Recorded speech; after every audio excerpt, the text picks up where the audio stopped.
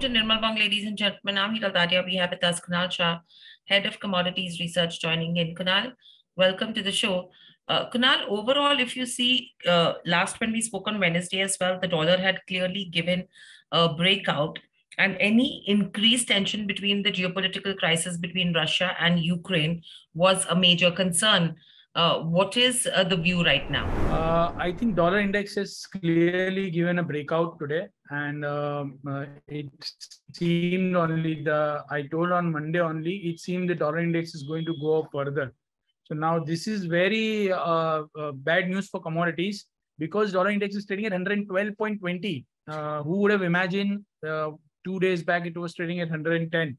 So it seems that the Federal Reserve is going to continue with their aggressive bond mm. purchase uh, bond selling in the market and also the aggressive interest rate, rate hike are expected.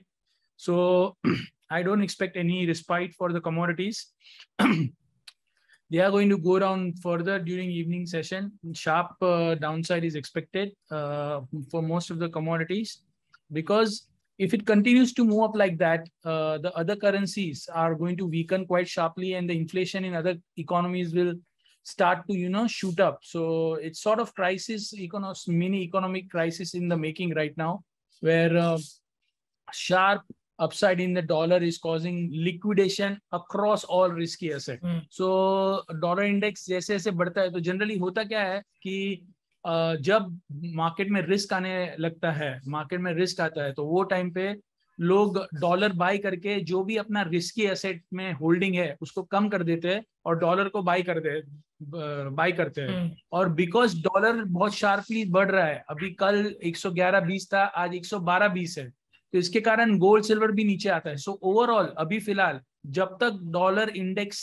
में ये जो upside का दौर है ये continue रहता है तब तक कमोडिटी में कोई मेजर बाउंस बैक नहीं लग रहा है छोटे मोटे उछाले आते रहेंगे but broader trend sell on rise आज ऑलरेडी सब चार मेटल्स चार चार परसेंट डाउन है ऑयल दो ढाई परसेंट डाउन है सो इवनिंग सेशन में मुझे कोई रिस्पाइट नज़र नहीं आ रहा है it is going to go down further ये और भी नीचे जाने वाला है ऐसा मेरा रीडिंग है और uh, uh, उछाले पे इवनिंग में बेचने का ही कॉल लेना चाहिए that is my recommendation right and Kunal, overall, uh, the anticipation was the advice was to go long in aluminium for the evening session and go long in crude in the, for the evening session on Wednesday. Have things changed now? Obviously yes dollar इतना strong होगा तो कोई भी commodity कैसे बढ़ पाएगा hmm. ये पूरा डॉलर का शो है जब तक डॉलर इंडेक्स स्टेबल uh, था जब तक डॉलर इंडेक्स कमज़ोर था वो टाइम पे सभी कमोडिटीज में हम देख रहे थे कि धीरे धीरे धीरे धीरे बाइंग आती थी या पर अभी जब डॉलर ही एक एक परसेंट बढ़ रहा है एक एक दिन में तो कमोडिटी कैसे चलने वाली है? सो so, ये ऐसा दौर स्टार्ट हो गया है मार्केट्स में कि डॉलर को स्ट्रांग होने के लिए या तो यूरोपियन सेंट्रल बैंक को एग्रेसिव इंटरवेंशन करे। हम्म। कल जापान ने एग्रेसिव इंटरवेंशन किया 145 से येन 142 आ गया और वही टाइम पे डॉलर इंडेक्स घट के 110 60 70 आ गया। आज 112 20 है। तो कोई भी सेंट्रल बैंक कितना भी इंटरवेन करता है यूएस तो अपना बैलेंस शीट डीलेवरेज करने का प्रोसेस चालू कर दिया है। यूएस मार्केट में से लिक्विडिटी निकाल रहा है तो कोई सेंट्रल बैंक आके अगर शॉर्ट टर्म के लिए इंटरवेंशन करता है तो थोड़े टाइम के लिए डॉलर कमज़ोर हो, हो जाएगा पर उसके बाद फिर से वो डॉलर बढ़ जाता है। तो ये ये कोई छोटा मोटा प्रॉब्लम नहीं है। This is sort of mini crisis जैसे बनने चालू हो गया है। सो वी रिक्वायर हमको क्या चाहिए what we require right now for commodities to move up we require dollar index to weaken जो हो नहीं रहा है सो so, जो तेज़ी कर रहे हैं कमोडिटी में।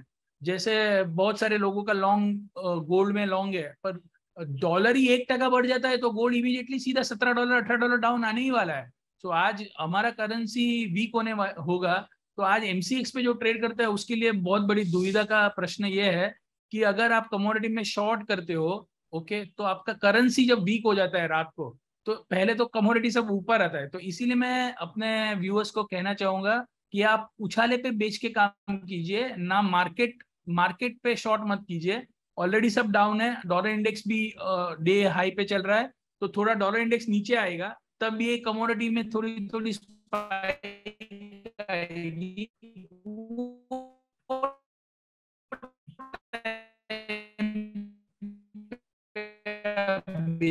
काम कीजिए।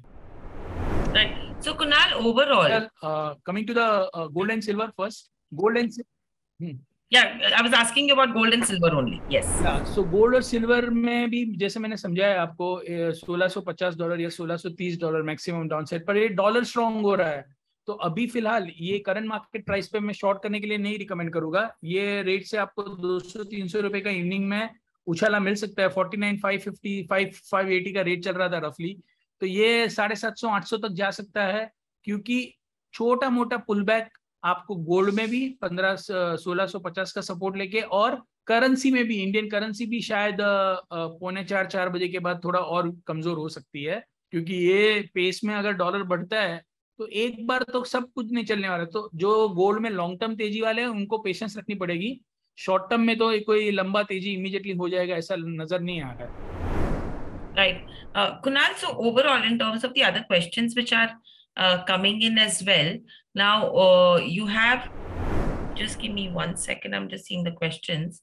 Uh, okay, मैं सब क्वेश्चन देख के आंसर हाँ. देता हूँ सो फ़र्स्ट गोल्ड सिल्वर में आज बाय करे कि नहीं मैंने बताया अभी अभी अभी करंट मार्केट प्राइस पे थोड़ा बहुत बाय करके 200 ढाई सौ रुपया गोल्ड 200 रुपया सिल्वर मिलता है तो वहाँ पे प्रॉफिट ले लो बाकी इससे ज़्यादा मुझे कोई कुछ बड़ा लग नहीं रहा है। दूसरा क्वेश्चन है सर जिंक पे लोएस्ट भाव क्या बन सकता है?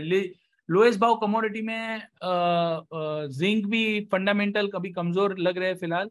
270 271 तक के रेट आपको दो तीन दिन में ट्रेड करते हुए देखने मिल सकते हैं। 270 78 पे शॉर्ट कीजिए 281 का स्टॉप रखिए और 70 71 के रेट आपको जिंक पे देख सकते हैं। क्रूड ऑलरेडी 81 50 डॉलर चल रहा है। एक बार 80 डॉलर टेस्ट करेगा ऐसा लग रहा है। तो यहाँ से और सौ सवा सौ रुपया जाएगा। So sixty five fifty sixty five twenty five का रेट इवनिंग सेशन में लग रहा है। Natural gas five eighty five में शॉर्ट कीजिए और फाइव नाइनटी सिक्स का स्टॉप रख के फाइव सेवेंटी में कवर कर सकते हैं। So that is a view for crude and gas positional view अभी भी मंदी का ही है। क्रूड और गैस में गिरीश जी uh, मुझे नहीं लग रहा है कि क्रूड में अभी भी कोई बाइंग करनी चाहिए क्योंकि जो पेस में है ये जो लिक्विडेशन चालू है ग्लोबली आज uh, सब हर एक असेट क्लास डाउन है तो क्रूड की भी डिमांड पॉइंट ऑफ़ व्यू से नेगेटिव है ये तो क्रूड तो नीचे जाने वाला है। एटी डॉलर एक फ्लोर है साइकोलॉजिकल एटी डॉलर तक आ, शायद नहीं अभी इमीडिएटली तोड़ेगा तो वहाँ पे हम रिव्यू करेंगे बट हज़ार रुपए नीचे आ जाएगा ऐसा कॉल पोजिशनल मेरे पास अभी नहीं है। सर सिल्वर 58,300 पे बाई है और गोल्ड 5700 पे बाई है। सो so, मैंने बता दिया गोल्ड आई थिंक और दो सौ ढाई सौ रुपए आता है तो आप ट्रेडिंग के लिए सेल कर सकते हैं। ऊपर आता है तब और सिल्वर भी around fifty seven six hundred seven hundred आता है। वहाँ पे आप पोजीशन सेल कर सकते हैं। इमीडिएटली गोल्ड सिल्वर चलेगा नहीं थोड़ा टाइम लगेगा बट ध्यान तेज़ी ही है। लॉन्ग टर्म का ध्यान तेज़ी है क्योंकि डॉलर जब डॉलर स्ट्रांग होता है तो कैसे बढ़ेगा? अभी एक टका डॉलर स्ट्रांग हो गया तो एक टका गोल्ड सिल्वर ऐसे ही नीचे आ गया। अभी और आधा पैसा डॉलर इंडेक्स स्ट्रांग होगा तो और डॉलर इंडेक्स मुझे क्या लग रहा है? डॉलर इंडेक्स एक सौ तेरह साढ़े तेरह एक बार पैनिक में दिखा सकता है ऐसा मेरा व्यू डॉलर इंडेक्स के लिए। और festive season no buying I don't think so अभी कोई फेस्टिव सीज़न नहीं है अभी फ़िलहाल तो सब मॉर्निंग सीज़न स्टार्ट हो गया है, जो हिसाब से वर्ल्ड में डॉलर इंडेक्स स्ट्रांग हो रहा है। फाइनेंशियल मार्केट के लिए कोई फेस्टिव सीज़न नहीं है अभी फ़िलहाल। It's it's looking quite gloomy right now right? So overall, yes, it's a negative view coming in at least for the short term with regards to where the commodities market go, unless and until all the tensions and all the issues that Kunal has been talking about are resorted, especially in terms of how the dollar index moves, and secondly, in terms of the geopolitical tensions.